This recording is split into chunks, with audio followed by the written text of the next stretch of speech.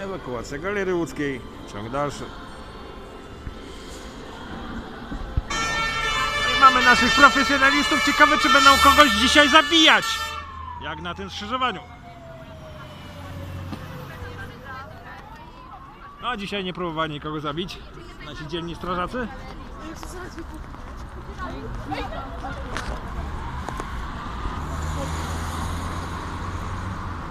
Kilka wozów już stoi. Zdezorientowani klienci. Obawiają się również operatorzy telefonii komórkowej, bo praktycznie każdy klient e, wyciąga komórkę. Zorientowani klienci czekają na powrót do galerii. Zapewne znowu to będą ćwiczenia. Niektórzy z zakupów zrezygnowali i wracają do domów. Oczywiście gówno wybiórcze nic nie widzi i nic nie słyszy. Teraz Arona Szechtera.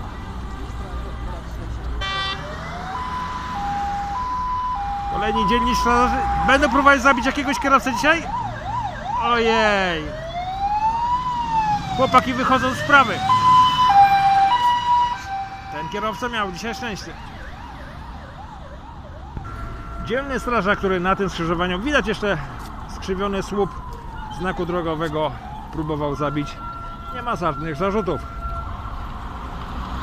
Próby zabójstwa.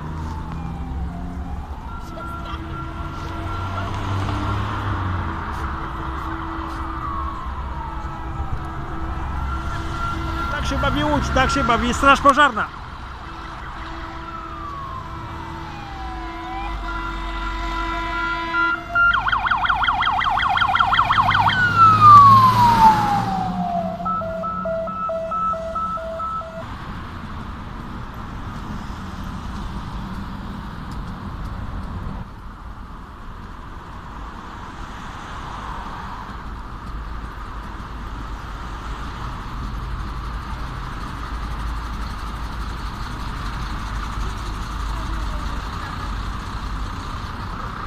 Relacje do rodziny czy do konkurencji leniwej, która przyjedzie pewnie jutro, tak jak rejestrowany.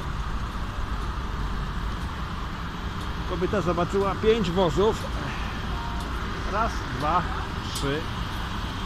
Na razie widzimy cztery. No cóż, nie wszyscy są widać po podstawówce.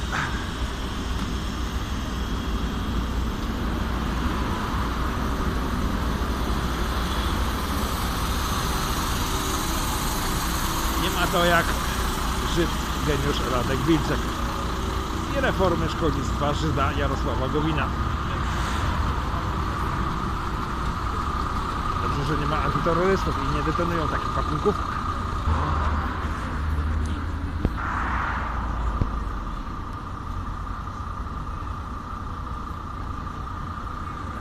Przy drugim wejściu kolejna zdezorientowana grupka klientów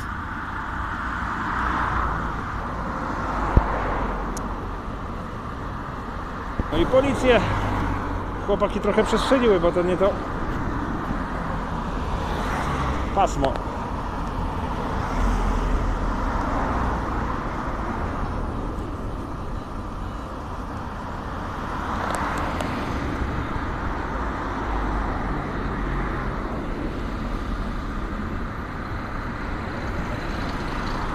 Operatorzy telefonii komórkowej dzisiaj się naprawdę obłowią.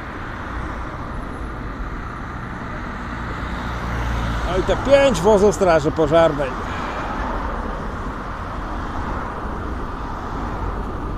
Pokolenie Radków Wilczków.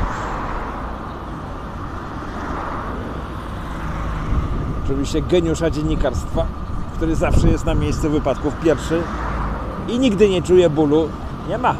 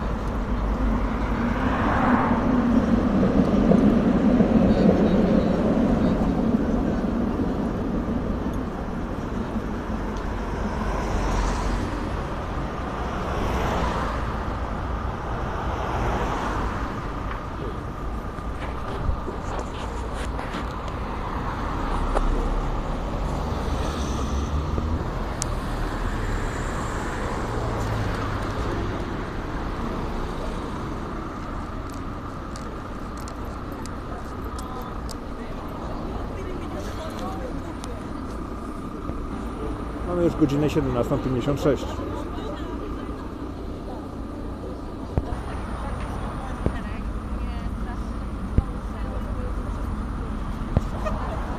Oni już zabiegowali.